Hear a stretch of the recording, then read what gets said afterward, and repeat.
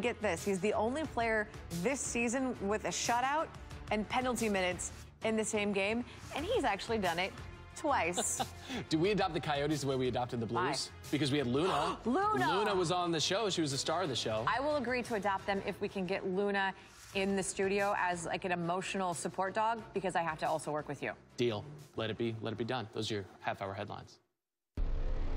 And our injury analyst, it's Stephania Bell. We know about the dislocated hip, and now we're also hearing about this posterior wall injury. What is that? What is that?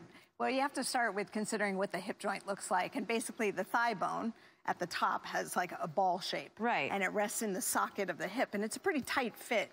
It takes a lot of force. We call this a high energy injury. You saw him land on the ground, his knee hits the ground with guys on top of him, and it basically bangs the hip out the backside. When it hits the posterior wall of the socket, that's where it causes the fracture. So it's basically bone on bone coming out the backside of the hip causes a break. That's the fracture. Dislocated hip, not great. Posterior wall injury, also not great. Combine the two together, how is that going to impact his timeline, his recovery, all that goes into him getting back onto the football field? Well, as we say, every injury is unique. So there are a couple factors to take into consideration. One is the nature of the fracture.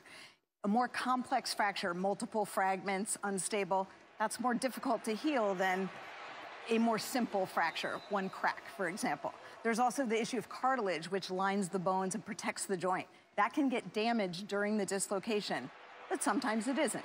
No cartilage injury is a better prognosis. But the main thing is the blood supply to the hip. There are some very tiny arteries that go to the bone, and they often get damaged with a dislocation. If that happens, it threatens the health of that bone. This is why most people think of Bo Jackson. Yep. That's what happened to him. But I will say this the, the key to protecting the artery is reducing that hip, getting it back in place as quickly as possible.